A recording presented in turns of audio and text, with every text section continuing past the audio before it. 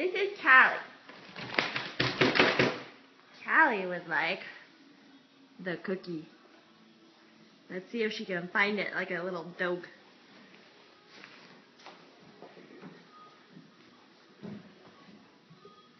Ah, you're just like a little bloodhound. Good job. Say thank you to Sharon, Kato, and Al that we're going to work off in a second after you find another one. Oh, that one's going to be tricky. Where did it go? Where did it go? Oh, it's like under the ledge. Is she going to find it? Oh, she found it! Cause she's the fat horse who likes treats.